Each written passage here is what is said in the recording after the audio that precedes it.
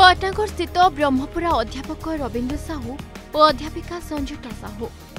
ଦୁଇ ହଜାର ଅଠର ମସିହା ଫେବୃଆରୀ ଛବିଶ ତାରିଖ ଥିଲା ଏହି ପରିବାର ପାଇଁ କାଳରାତ୍ରି। ଫେବୃଆରୀ ଅଠର ତାରିଖରେ ରବୀନ୍ଦ୍ରଙ୍କ ଏକମାତ୍ର ପୁଅ ସୌମ୍ୟ ଶେଖରଙ୍କର ହୋଇଥିଲା ବାହାଘର। ତେବେ ବିବାହର ପାଞ୍ଚ ଦିନ ପରେ ମିଳିଥିବା ଉପହାରରେ ମିଳିଲା ମୃତ୍ୟୁର ପିଣ୍ଡୁଳା। ପାର୍ସଲ ଖୋଲିବା ବେଳେ ପ୍ରଚଣ୍ଡ ହୋଇଥିଲା ବିସ୍ଫୋରଣ। ଏଥିରେ ସୌମ୍ୟ ଶେଖରଙ୍କ ଜେଜେମା ଜେମାମଣି ସାହୁଙ୍କ ଘଟଣାସ୍ଥଳରେ ମୃତ୍ୟୁ ହୋଇଥିବା ବେଳେ ଗୁରୁତର ଅବସ୍ଥାରେ ସୌମ୍ୟାଙ୍କୁ ଉଦ୍ଧାର କରି ବୁର୍ଲା ଡାକ୍ତରଖାନାକୁ ସ୍ଥାନାନ୍ତର କରାଯାଇଥିବା ସମୟରେ ସୌମ୍ୟଙ୍କ ମୃତ୍ୟୁ ହୋଇଥିଲା।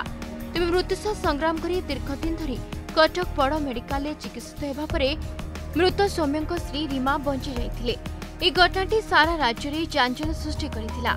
ଘଟଣାକୁ ତିନି ବର୍ଷ ପୂରିଥିଲେ ମଧ୍ୟ ଏବେ ମଧ୍ୟ ନ୍ୟାୟ ପାଇଁ ଅନାଇ ବସିଛନ୍ତି ପୀଡ଼ିତାଙ୍କ ପରିବାର। ପୁଞ୍ଜିଲାଲଙ୍କୁ ଫାଶୀଦଣ୍ଡ ମିଳିଲେ ସୌମ୍ୟ ଶେଖରଙ୍କ ଆତ୍ମାକୁ ଶାନ୍ତି ମିଳିବ ବୋଲି ପରିବାର ଲୋକେ କହିଛନ୍ତି। ଆଜିକେ ତ ତିନି ବର୍ଷ ହେଲାନ କିନ୍ତୁ ଗୋଟେ ଗୋଟେ ଦିନ ବହୁତ କଷ୍ଟରେ ବିତଉଛୁ ଆମେ ଟୋଟାଲ ଫ୍ୟାମିଲିଟା ଖାଲି ଆଶା କରି ଅଛୁ କି କେବକେ ଆମକୁ ନ୍ୟାୟ ମିଳିବା।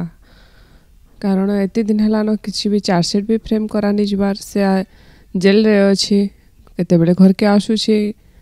ଆଉ ବହୁତ ଦୁଃଖର କଥା ଯେ ଏତେ ବଡ଼ କ୍ରାଇମ୍ କରି କରି ସେ ତାର ଦରମା ବି ପାଉଛି।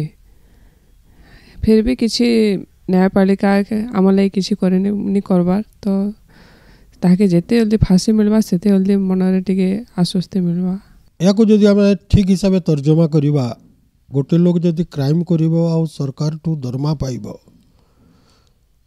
ତ ତାକୁ କ୍ରାଇମ୍ କରି ନ କରି କ'ଣ ଦଣ୍ଡ ମିଳିଲା ତ ସବୁ ଯୋଗ ଯଦି ଏମିତି ସମସ୍ତଙ୍କ ପ୍ରତି ଉପରେ ହେବ ଲୋକେ କ୍ରାଇମ୍ କରିବାଟା ଛାଡ଼ିବେ କାହିଁକି ପାଟନାଗଡ଼ ଉପଖଣ୍ଡରେ ଥିବା ଭଇଁସା କଲେଜର ଅଧ୍ୟକ୍ଷ ପଦବୀକୁ ନେଇ ପୁଞ୍ଜିଲାଲ ଓ କଲେଜର ଅଧ୍ୟକ୍ଷା ସଂଯୁକ୍ତାଙ୍କ ମଧ୍ୟରେ ହୋଇଥିଲା କଥା କଟାକଟି।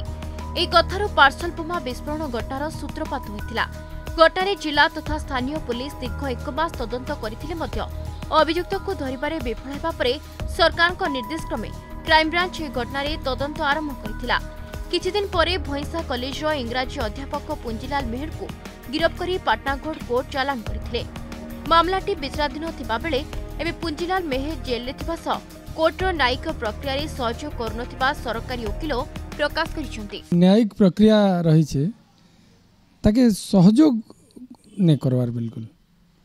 ସେ ଟିକେ ସହଯୋଗ କରତେ ନିଜର ପକ୍ଷ ରଖତେ ନିଜର ଓକିଲଙ୍କୁ ଠିଆ କରାତେ ଠିକ୍ ସମୟରେ ସେଇଟା ନେଇ କରିକରି କେମିତି କରି ମାନେ କେସ୍କେ ଗଡ଼େଇ ହେବା ଚାର୍ଜ ଫ୍ରେମ୍ ନେଇ ହେଇକରି କେନ୍ତାକିରି ଗଡ଼େଇ ହେବା ବା ଯେନ୍ ଆରୋପ ସିଦ୍ଧି ଉପରେ ଯେନ୍ ଶୁଣାଣିଟା ହେସି ବାଦ ବିବାଦ ଯେନ୍ଟା ହେସି ସେଟା ସେ କରେଇନି ଦେବାର୍ ମାନ୍ୟବର ଅଦାଲତ ତଥା ସରକାରଙ୍କୁ ମୁଁ ଅନୁରୋଧ କରିବି ଯେ